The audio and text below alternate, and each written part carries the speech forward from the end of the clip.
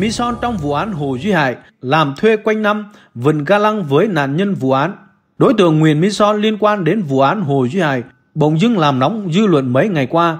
Tương tự như Nguyễn Văn Nghị, gần đây theo công an tỉnh Long An là Nguyễn Hữu Nghị. Nguyễn Mỹ Son rất thân thiết với nạn nhân bị sát hại trong vụ án là Nguyễn Thị Ánh Hồng, nhân viên bưu điện Cầu Voi. Trong những ngày qua, chúng tôi tiếp tục lần tìm về tận quê quán của Nguyễn Mỹ Son và biết được rằng hơn chục năm qua, nhân vật này chỉ làm thuê, làm mướn quanh năm. Thế nhưng, trước khi người yêu của Son là chị Hồng bị sát hại, thì Son cực kỳ ga lăng với chị Hồng.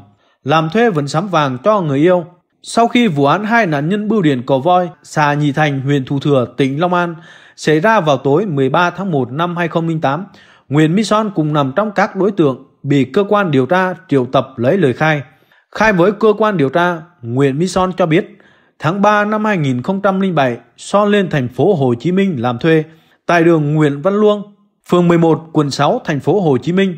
Nguyễn Mỹ Son khai, tôi thường xuyên về bưu điện Cầu Voi, sống chung như vợ chồng với Hồng. Một tuần tôi về một ngày, gần nhất là vào thời điểm vào thời điểm Hồng bị sát hại là vào thứ tư, mùng 9 tháng 1 năm 2008. Sáng thứ năm, ngày mùng 10 tháng 1 năm 2008, tôi về thành phố Hồ Chí Minh làm thuê tiếp. Son khai với điều tra viên. Nguyễn Mỹ Son cũng khai nhận với cơ quan điều tra rằng đã tặng cho người yêu là chị Hồng một số tài sản gồm một chiếc nhân kiệu có cần hột đá màu trắng phía trên, khoảng 2 phân vàng 18K, một chiếc nhân kiệu không hột trọng lượng 2,5 phân vàng 18K, một chiếc nhẫn cưới có in tên son hồng, có gắn hai hột đá, có gắn hai hột đá trắng, trọng lượng khoảng 5 phân, vàng 18K, chiếc nhẫn gồm 7 vòng hoặc 5 vòng trọng lượng 4 phân, một chiếc lắc tay kiệu trọng lượng khoảng tầm 4 phân. Về quê vẫn làm thuê quanh năm nhằm làm rõ các điểm mờ xung quanh vụ án Hồ Duy Hải đang gây xôn xao dư luận. Chúng tôi đã về tận quê quán của Nguyễn Mỹ Son, mong gặp được Son để có một chút thông tin. Nơi Son đăng ký hộ khẩu thường trú là ấp Vĩnh Tiến, xã Hữu Thành, huyện Trà Ôn, tỉnh Vĩnh Long. Khi chúng tôi đến, thì hàng xóm đều biết chuyện Son từng liên quan đến vụ án Hồ Duy Hải. Theo chỉ dẫn của người dân địa phương, chúng tôi tìm đến căn nhà mái tôn. Phía trước có đúc cột, tường xi măng, quét vôi màu xanh lá. Căn nhà này là của cha mẹ Nguyễn Mỹ Son. Nhưng theo những người hàng xóm, thì Son về quê ở chung với bố mẹ già đã hơn 10 năm nay. Nghe nói Son có vợ, nhưng hiện tại không thấy vợ ở chung nhà mà chỉ thấy Son và con trai khoảng 4 tuổi sống chung với bố mẹ. Nghề của anh ấy là làm thuê, làm mướn. Ai mướn gì thì anh ấy làm. Như chở rơm thuê, múc bùn, đào đất, phun thuốc sâu. Anh Son làm hết. Hàng ngày anh ấy đi làm thuê, ít khi ở nhà. Con thì gửi cho ông bà nội chăm sóc, nuôi dự. Anh Hà, người hàng xóm gần nhà anh Son cho biết, thật may mắn trên đường trở về, chúng tôi đã gặp ngay bà Ảnh, mẹ của anh Nguyễn Mỹ Son và con trai Son Bà ấy nhìn chúng tôi với ánh mắt dò xét. Bà thừa nhận bà là mẹ của anh Son. Chúng tôi hỏi, xin được gặp anh Son thì bà trả lời, nó đi mần rồi, đi làm hai ba bữa nữa mới về. Khi biết mục đích gặp anh Son để tìm hiểu xung quanh vụ án xảy ra trước đây, bà ảnh nói, bây giờ tôi nói với chú, tôi thì tôi không biết gì hết trơn. Muốn gì thì đời nó về, tôi sẽ nói với nó, chứ tôi không biết. Chúng tôi xin hỏi số điện thoại của anh Son thì bà ảnh nói, nó có số điện thoại nhưng tôi không biết. Cái vụ số điện thoại của con gái tôi không biết. Bà ấy cho biết thêm từ ngày có vợ. Nó ở đây với tôi. Ai kêu gì mướn gì, nó làm lấy. Cái gì cũng làm, múc bùn, phun thuốc sâu, chờ rơm làm hết. Chúng tôi đã tiếp xúc với Trung tá Hồ Tấn Vân, trưởng công an xã Hữu Thành. Ông Vân cho biết, Son có hộ khẩu thường trú ở đây. Ba của Son là Nguyễn Văn Lang. Vợ và con của Son thì không thấy đăng ký hộ khẩu ở đây. Ông Vân cũng cho biết rằng Son làm thuê làm mướn ở khắp các tỉnh Sóc Trăng, Cà Mau, Cần Thơ. Son đi làm xa, có khi 9-10 bữa mới về nhà một lần, ông Vân cho biết. Tuy nhiên để xác định chính xác Son tạm trú ở đâu, số điện thoại như thế nào thì ông Vân nói chúng tôi không thể nắm được và bây giờ chỉ có chứng minh thư thôi, đi hay ở bất cứ đâu, đâu có cần đăng ký tạm trú tạm vắng. Một điều rất kỳ lạ, sau khi về tận nhà, quê quán, dù chưa được gặp trực tiếp Nguyễn Mỹ Son, nhưng đập vào mắt chúng tôi là nhà cửa, đời sống, Việc làm của Nguyễn Mỹ Son là không khá giả. Hơn 12 năm trôi qua, kể từ ngày vụ án xảy ra, Nguyễn Mỹ Son vẫn không có việc làm ổn định. Trái lại, Nguyễn Mỹ Son phải tất tả ngược xuôi, đêm ngày làm thuê làm mướn. Như trước đây Son khai với cơ quan điều tra là về thành phố Hồ Chí Minh làm thuê, làm thuê quanh năm. Nhưng khi yêu Nguyễn Thị Ánh Hồng, Son vẫn cực kỳ ga lăng, tăng nhận, lắc vàng cho người yêu, mà không phải người con trai làm thuê nào cũng có được. Cơ quan Quốc hội đang xem xét vụ án Hồ Duy Hải. Tổng bí thư Quốc hội Nguyễn Hạnh Phúc đã chủ trì buổi họp quốc tế về dự kiến chương trình kỳ họp thứ 9 của Quốc hội khóa 4. Tại cuộc họp, Tổng thư ký Nguyễn Hạnh Phúc cho biết một số đại biểu Quốc hội có kiến nghị gửi Ủy ban Thường vụ Quốc hội để nêu ý kiến, kiến nghị về vụ án. Ông cho biết rằng Ngày 8 tháng 5 năm 2020, Hội đồng thẩm phán Tòa án Nhân dân tối cao đã có kết luận phiên giám đốc thẩm vụ án Hồ Duy Hải quyết định giữ nguyên mức án được tòa sơ thẩm, phúc thẩm tuyên y án tử hình đối với Hồ Duy Hải. Ở nhiệm kỳ trước, Quốc hội đã thành lập đoàn giám sát liên quan đến vấn đề này do Phó Chủ tịch Quốc hội Uông Chu Lưu làm trường đoàn và Phó chủ nhiệm Ủy ban Tư pháp Lê Thị Nga làm Phó trưởng đoàn. Sau đó, Ủy ban Tư pháp đã có kiến nghị về vụ án Hồ Duy Hải. Ông Phúc cho hay, ông nói quá trình này cũng cho thấy gia đình Hồ Duy Hải liên tục khiếu nại kêu an. Dư luận trong nước và quốc tế cũng rất quan tâm.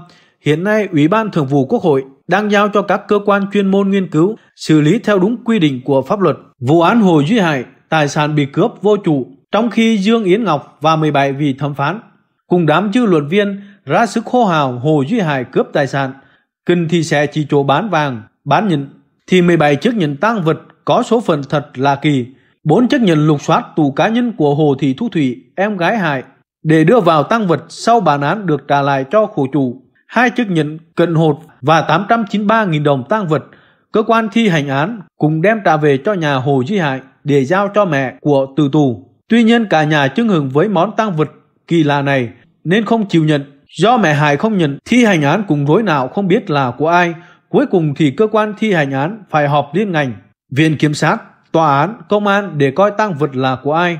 Cuối cùng họp xong, cũng không biết là của ai, cho nên liên ngành chơi kiểu kinh trùng chia đều. Nhà Hồng và nhà Vân mỗi người một nửa. Tiền thì dễ chia, mỗi nhà 446.500 đồng, còn hai chiếc nhẫn. Do không biết của ai nên Hồng là chỉ được giao trước cận 5 hột, Vân là em được giao trước cận 2 hộp. Tôi chỉ biết kêu trời với cách xử lý này. Rốt cục tiền và nhận ngoài của Thủy thì còn lại là của ai? Sau đây là biên bản trao trả tăng vật kính gửi thi hành án dân sự tỉnh Long An do phần quyết định của bản hình sự sơ thẩm số 97 năm 2009, hồ sơ sơ thẩm ngày 28 tháng 11 đến ngày 1 tháng 12 năm 2008 của Tòa án Nhân dân tỉnh Long An xét xử vụ án Hồ Duy Hải tội giết người và cướp tài sản, tuyên xử lý vật chứng và một số tài sản còn thiếu và chưa xác định gây khó khăn cho công tác thi hành án. Tòa án Nhân dân tỉnh Long An đã có văn bản chính thức bản án số 10 ngày 25 tháng 8 năm 2009 nhưng trong quá trình thi hành án thì số tài sản một nhẫn kim loại màu vàng cần 5 hột đá trắng, một nhẫn kim loại màu vàng cần hai hộp đá trắng, số tiền 893.000 đồng. Theo bản án tuyên trả lại cho bà Loan, mẹ của Hồ Duy Hải, bà Loan không nhận lại vì quá trình điều tra, cơ quan điều tra không thu giữ số tiền trên của gia đình. Hiện chưa biết xử lý ra sao, nên cơ quan thi hành án dân sự tỉnh Long An mời liên ngành, tòa án, viện kiểm sát, công an họp để xử lý số tài sản trên. Tòa án Nhân dân tỉnh Long An xin đính chính bổ sung phần quyết định bản án như sau. Tại phần quyết định bản án, trang 10 dòng 15 từ trên trả lại các tài sản như sau cho một Nguyễn Thị Rưỡi, một xe mô tô loại Dream 2, biển số 62F50842, 2 Nguyễn Thị Loan, 4 nhận kim loại, 1 trắng, 3 màu vàng. 3 trả lại cho Đinh Phú Hùng, một ghế gọng kim loại, loại nệm mút. 4 trả lại cho Nguyễn Văn Hội, một đôi dép xốp màu trắng của chị Nguyễn Thị Thu Vân đã chết. Một nhẫn kim loại màu trắng cần 5 hột đá trắng, một nhẫn kim loại màu vàng cần 2 hộp đá trắng và số tiền 893.000 đồng do cơ quan điều tra thu giữ là tài sản của các bị hại, nhưng không thể xác định được đây là số tài sản của bị hại Vân hay là của bị hại Hồng. Do đó cần tuyên trả cho hai gia đình bị hại số tài sản trên. Một ông Nguyễn Văn Mừng đại diện nhận số tiền 446.500 đồng và một nhẫn kim loại màu vàng cần 5 hột đá trắng. Hai ông Nguyễn Văn Hồ đại diện nhận lại số tiền 446.500 đồng và một nhẫn kim loại màu vàng cần hai hột đá trắng. Từ những tài liệu được tung ra trong thời gian gần đây, chứng minh rằng công an tỉnh Long An đâu phải yếu kém về nghiệp vụ. Công an đã chụp rất chi tiết về hiện trường vụ án, dù là những chi tiết nhỏ nhất. và những lời khai của nhân chứng rất đầy đủ. Chắc chắn đang còn những hình ảnh và những lời khai khác nữa mà mọi người chưa được biết. Và câu hỏi đặt ra, ở đây tại sao có những nhân chứng, lời khai và hình ảnh có lời cho Hồ Duy Hải bị bỏ ra ngoài hồ sơ vụ án? Rõ ràng đây là một vụ án đặc biệt nghiêm trọng, tuyên án tử hình một con người, hai nạn nhân chết oan nhưng lại đã có quá nhiều vấn đề gây băn khoăn cho dư luận. Có khắc phục được không? Có khắc phục được không? Nếu điều tra lại, điều tra lại những chứng cứ, tài liệu hiện có thì có thể xác định rõ thời điểm chết của hai nạn nhân hay không? Từ đó rò lại những chứng cứ ngoại phạm của các nghi can, điều tra lại có xác định được rõ hơn thời điểm được cho là Hồ Duy Hải có mặt tại bưu điện cổ voi hay không, điều tra lại để thực nghiệm hiện trường lại để xác định rõ với các tình tiết dắt con dao sắc bén ở bụng. Như vậy, có thể thực hiện một loạt hành động mạnh mẽ dứt khoát được như vậy hay không? Cầu mong cho hai linh hồn các nạn nhân sớm được yên nghỉ. Cầu mong cho thủ phạm thực sự của vụ án sớm phải trả giá đắt trước pháp luật và lương tâm. Kính gửi Viện Kiểm sát Nhân dân tối cao, chỉ trong vòng 16 phút vào ban đêm, trên đoạn đường 12 km không có đèn đường, Hồ Duy Hải đã thực hiện 5 giao dịch. Một cầm đồ, hai về nhà đội xe, ba ra quán cà phê sức bạn, bốn chở bạn đến quán cà phê khác và trả nợ, năm có mặt ở trên bưu điện cầu voi. Theo cáo trạng, hai đến tiệm cầm đồ KH ở thị trấn Thủ Thừa lúc 19 giờ 13 phút 39 giây, anh Võ Lộc Đăng gọi cho Hải. Vào 19 giờ 30, Hải có mặt ở bưu điện cầu voi. Như vậy, theo cáo trạng, Hải chỉ có 16 phút 21 giây để thực hiện một loạt hành động. Chúng tôi đã thực nghiệm và thực sự bó tay, không thể nào làm theo cáo trạng. Cầm đô, Hải nhận cuộc gọi lúc 19 giờ 13 phút 39 giây. Tôi không biết Hải nói chuyện trong bao lâu, nhưng nếu nhanh cũng mất 30 giây. Thao tác cầm đồ bao gồm chào hỏi, thử máy, thử bằng cách dùng máy của Hải gọi vào máy của chủ tiệm xem hoạt động ra sao. Sau đó nhìn vào ngoài và lướt các phím chức năng, xong xuôi thì trao đổi giá cả, đồng ý thì tháo sim, cho điện thoại vào túi ni lông, dán băng keo. Xong ghi phiếu cầm đồ trả tiền, các bạn của tôi nói cầm một món đồ họ mất từ 7 đến 10 phút. Nhưng tôi ok cho thật nhanh luôn, mất 5 phút thôi. Như vậy tại điểm cầm đồ hãy mất hết 5 phút 30 giây. Đội xe, thị trấn Thủ Thừa là một trong những thị trấn mà đường xá nhỏ nhất Việt Nam. Đường bé xíu ngã tư rất nhiều, ra khỏi thị trấn thì vẫn đường nhỏ không có đèn. Google tính quãng đường là 15 km, di chuyển không làm gì mất 20 phút. Ok Hải về đội xe tôi cho một phút, nhà Hải nằm phía tay trái trừ chạy xe, Hải phải băng qua đường. Cáo trạng nói cái xe mà Hải đuổi, đậu sẵn ngoài sân, cắm sẵn chìa khóa, tình tiết này chắc nhằm mục đích cho nhanh để kịp với tính toán của cáo trạng. Như vậy quy trình đội xe mất một phút. trước anh Võ Lộc đang ở quán Đại Thanh, tôi tính mất một phút. Nếu anh đang uống cà phê trả tiền trước thì một phút, nếu Hải tới mới trả tiền thì phải 2 đến 3 phút. Quán này bên tay trái chiều chạy xe của Hải, do Hải đã cầm điện thoại nên Hải tới đang mới biết và đừng lên đi theo Hải. Như vậy quy trình này mất một phút. Hải đưa anh đang tới quán hai thượng, tới nơi Hải lấy tiền ra đếm và đưa anh đang. Quy trình này mất một phút. 19 giờ 30 Hải có mặt ở bưu điện cầu voi. Trong điều kiện lập trình như máy tính, tất cả đều khớp hoàn hảo, thì các giao dịch của Hải mất 8 phút 30 giây. Trong điều kiện lái xe bình thường, đi quãng đường ngắn nhất như tính toán của Google mất thêm 20 phút. Như vậy vừa đi vừa giao dịch, trong điều kiện hoàn hảo như lập trình, cần ít nhất 28 phút 30 giây và lập trình này phải trong điều kiện chuẩn, không phát sinh điều gì. Nhưng theo cáo trạng, chỉ cho Hải có 16 phút 21. Chỉ cho Hải có 16 phút 21 giây. Kính thưa Viện Kiểm sát Nhân dân tối cao, tôi biết để đi đến kháng nghị, các anh đã nghiên cứu kỹ lưỡng. Tuy nhiên là một người đã theo dõi vụ việc hơn 12 năm nay, tôi xin góp thêm một chút ý kiến về quãng đường và thời gian mà cáo trạng đã nêu ra hoàn toàn vô lý. Cáo trạng chỉ tính hại lên xe là đua tốc độ trong khi hàng loạt hành động mà họ tính toán đến khi hại gặp anh Đăng. Là đã qua 19 giờ 30 từ lâu, sau đó người có mặt ở bưu điện cầu voi lúc 19 giờ 30 không thể là hại. Kính đề nghị cơ quan điều tra, Viện Kiểm sát Nhân dân tối cao độc lập thực nghiệm các tình tiết này, đó cũng là mấu chốt xác định hai ngoại phạm. Tội nghiệp Hồ Duy Hải rơi vào tay một người đã không hiểu biết luật pháp lại còn hết sức tàn bạo là Nguyễn Hòa Bình. Thời còn làm viện trưởng Viện Kiểm sát Nhân dân tối cao, hắn tuyên bố công khai ở Quốc hội vào ngày 13 tháng 8 năm 2015 là nếu không đủ căn cứ chứng minh là tội nặng thì phải quyết có tội nhưng tội nhẹ, nếu không đủ ở khoản cao thì phải xử ở khoản thấp. Có lẽ lúc đó hắn tưởng Viện Kiểm sát Nhân dân tối cao, nghĩa là Viện Tàn sát Nhân dân tối cao, nên mới dám phát biểu thách thức quốc hội của Đảng Cộng sản và nhân dân như thế. Từ năm 2015 đến bây giờ là 5 năm, Nguyễn Hòa Bình vẫn tiếp tục hành sự. Theo lối suy nghĩ man trợ ấy ở phía giám đốc thẩm, sự vụ án Hồ Duy hại Ngoài ra đao phủ Nguyễn Hòa Bình này là một phó giáo sư, tiến sĩ luật xã hội chủ nghĩa, ủy viên ban bí thư ban chấp hành Trung ương Đảng Cộng sản Việt Nam, không để góc tối khi ghi âm, ghi hình hỏi cung. Phó ban chỉ đạo cải cách tư pháp Trung ương Lê Thị Thu Ba phản ánh do chưa rõ nguyên tắc, suy đoán vô tội, mà có trường hợp lỡ bắt rồi nên phải xử, phải tuyên phạt cho tương xứng. Thật kinh hoàng sự thật đội trắng thay đen, lời khai tráo trợn về vụ án Hồ Duy hại trong hồ sơ ghi chép. Qua cáo trạng đến khi nhân chứng Đinh Phú Thường phát hiện bị can hại ngồi trong bưu điện thủ thừa nơi xảy ra vụ án. Thật táo tợn khi nhân chứng Đinh Phú Thường khai rõ ràng không biết người thanh niên là ai, thì qua cáo trạng, cán bộ ghi chép đội trắng thay đen khẳng định là Hồ Duy hại Táo tợn hơn bưu điện thủ thừa cấp huyện và bưu điện cầu voi cấp xã Nhị Thành, hiện trường vụ án cách nhau 7,7 km, cán bộ giám gục là một, nói rằng anh thường nhìn thấy Hải ngồi ở bưu điện thủ thừa. Tôi cho rằng khi đã chấp nối những dữ liệu rời sạc không có thật để làm án, thì hồ sơ tào lao là điều khó tránh khỏi. Chuyện đời ươi dự án Khi nói về một chế độ độc tài, Bertrand Russell viết, thằng ngu cũng được quyền cai trị, và hôm nay ở Việt Nam đã có một phiên sự đúng theo nghĩa. Bertrand Russell đã nói, ở đó 17 tên, theo giấy tờ thì thuộc diện có học bậc nhất trong chế độ Cộng sản. Họ ngồi ở một nơi được gọi là tòa án tối cao. Sau hai ngày làm việc, họ đã vui thuần bỏ phiếu đồng bộ với 17 trên 17 cánh tay, đưa lên tuyên bố tử hình một nghi can tên Hồ Duy Hải.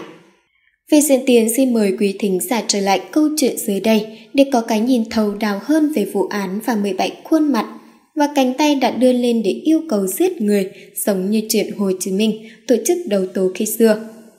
Nghĩa là dù không muốn cũng phải giơ tay lên hoặc dạ tất cả đều đồng ý kết án theo chủ tàu Nguyễn Hòa Bình. Diễn tiến của vụ án Vụ án mạng xảy ra vào tối ngày 13 tháng 1 năm 2008 tại bưu điện Cầu Voi, ấp Nam Xá Nhị Thành, huyện Thủ Thừa, tỉnh Long An. Trong đó hai nữ nhân viên bưu điện tên Nguyễn Thị Ánh Hồng, sinh năm 1985 và Nguyễn Thị Thu Vân, sinh năm 1987, bị giết bằng cách cắt cổ.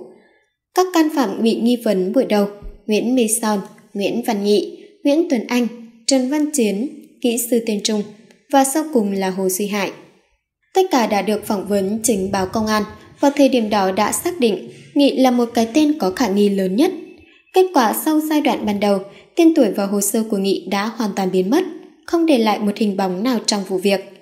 Theo tin biên lề người ta đồn rằng nhờ thế lực của Trương Tấn Sang và bà cô của Nghị tên là Trương Mỹ Hoa là Phó Chủ tịch nước nhiệm kỳ 2002-2007 nên Hải đã bị đưa vào vụ án như một con dê tế thần, đề nghị là cháu bà quan lớn.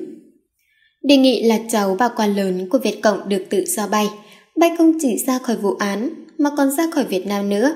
Chuyện thực hư thế nào? Mời thính giả cùng tìm hiểu lý do Nghị bay xa và Hải mắc cạn. Những thông tin này tôi không đưa ra ý kiến cá nhân vì công hành nghề mặc dù bản thân đã trải qua 6 năm tại trường luật ở Sài Gòn và ở hải ngoại. Theo đó, bài viết này sẽ có rất ít ý kiến cá nhân, nhưng ghi chép và dẫn giải lại một số sự kiện đã được đưa ra để dẫn chứng về vụ án mà thôi. Có một điều tôi cần nói ngay rằng bản thân tôi không bao giờ muốn dính đến những chuyện án quan của nhà nước Việt Cộng. Bởi lẽ tôi đã thuộc lòng những cảnh cải cách dụng đất để giết người và cướp của của Hồ Chí Minh và đồng bọn từ mùa đầu tố năm 1953 đến năm 6. Tuy nhiên ngày nay không có một tên đảng viên Cộng sản nào từ cấp xã phường trở lên mà tài sản của chúng không vượt qua số tài sản của bà Nguyễn Thị Năm xưa kia. Hoặc giả còn vừa xa, quá xa đối với những người nông dân mà chúng khoác cho họ bản án từ trước khi dẫn ra tòa với tội danh là tri phú địa hào. Tuy nhiên không một kẻ nào bị chém, lý do theo luật của Việt Cộng họ phải chết để chúng hưởng lộc. Tôi nói thế bởi vì những bản án về phú nông địa hào ấy là đúng người đúng tội, là cốt lõi sinh hoạt của nhà nước Việt Cộng, thì những biệt thự như lâu đài và dụng đất để cướp được của dân đang trong tay của những cán bộ đảng viên, nên Việt Cộng có phải đem ra đầu tố hay không? Nếu không thì bạn đừng bao giờ nhắc đến chữ công lý dưới chế độ này. Lý do nó tùy thuộc vào cây mã tấu trong tay của chúng. Những lưu ký về bản án Theo cáo trạng xác định và đến nay không một ai không nghe biết là khoảng 20 giờ 30 ngày 13 tháng 1 năm 2008 hại súng thớt đánh vào mặt, dùng dao và ghế giết các nạn nhân. Đây là những vật chứng quan trọng mang dấu vết của tội phạm. Khám nghiệm hiện trường đã ghi nhận, chụp ảnh những vật chứng này nhưng không được thu giữ. Cơ quan điều tra sau đó cho người mua những vật chứng này được bổ sung đưa vào hồ sơ vụ án. Tại sao lại như thế? Điều ghi nhận đầu tiên khi nghe về chuyện này là ai cũng phải kinh ngạc về tài quản lý những án cụ của nhà nước Việt Cộng. Bởi lẽ trên cái thớt, cái ghế con dao ấy có in rất rõ dấu vân tay của kẻ thù ác và máu của người bị hại, có thể có cả máu của kẻ thù ác nữa. Theo đó đây là những vật chứng rất quan trọng, không thể không lưu giữ và bảo quản nghiêm ngặt. Ngay từ đầu, mất những chứng cứ này, bản án sẽ mất đi 90% chứng cứ để tuyên án thành sự. Bởi dưới nhiều áp lực, kể cả bị tra tấn đe dọa, nhiều bị cáo vô tội vì quá đau đớn và hoảng sợ trước những lời đe dọa của điều tra viên, nên họ nhận bừa cho qua ngày, rồi muốn đến đâu thì đến, như trường hợp án oan của những vụ điển hình sau. Ba cụ ông ở Vĩnh Phúc mang án oan giết người gần 40 năm, sáng ngày 9 tháng 10. Sau gần 40 năm mang án oan giết người, ba cụ ông, một người đã mất trong thời gian giam giữ, đã được cơ quan chức năng minh oan, xin lỗi và đính chính công khai trước toàn xã hội. Chiều ngày 25 tháng 4 năm 2017, buổi xin lỗi của Tòa án Nhân dân cấp cao tại Hà Nội với ông Hán Đức Long, người bị kết án tử hình oan về tội giết người được tổ chức tại ở xã Phúc Sơn, huyện Tân Yên, Bắc Giang. 28 năm mang tiếng giết chồng giết cha, ngày 24 tháng 10 năm 2017, Tòa án Nhân dân tỉnh Điện Biên tổ chức buổi công khai xin lỗi với bà Đặng Thị Nga, sinh năm 1938 ở tuần giáo Điện Biên và hai con trai gồm Trịnh Công Hiến, sinh năm 1963 đã mất, và Trịnh Huy Dương, sinh năm 1970, vì điều tra truy tố xét xử oan cho họ về hành vi giết chồng, giết cha. Nguyễn Thanh Trấn ngồi tù 10 năm khiến gia đình tan nát. Tháng 8 năm 2003, ông Nguyễn Thanh Trấn bị công an huyện Việt Yên, Bắc Giang cho rằng ông là thủ phạm giết cô hàng xóm Nguyễn Thị Hoan tại thôn Me xã Nghĩa Trung, huyện Việt Yên. Dĩ nhiên đây chưa là tất cả, chỉ là số ít người có cơ may sống sót và may mắn đặt lại vấn đề, ngoài ra là chấm hết. Những thắc mắc quan trọng bước vào phiên tòa. Sự biến mất không để lại dấu vết của nghi can bị quy kết buổi đầu là Nguyễn Văn Nghị, tư cách cá nhân của Nguyễn Hòa Bình. Theo nguyên tắc chung của luật pháp, Nguyễn Hòa Bình không được tham dự phiên tòa này, bởi lẽ không chỉ luật pháp mới biết, mới cấm, nhưng ngay chuyển những đứa trẻ năm 7 tuổi trong làng quê vui chơi với nhau cũng biết nguyên tắc.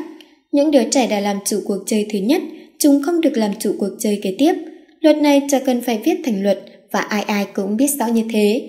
Theo đó không cần phải có văn bản quy định là nếu bản án sơ thẩm, phúc thẩm, giám đốc thẩm tái thẩm mà bị bản án có hiệu lực cao hơn tuyên hủy thì hội đồng xét xử đưa ra bản án đã bị tuyên bố hủy không được tham gia hội đồng xét xử lại vụ án đó.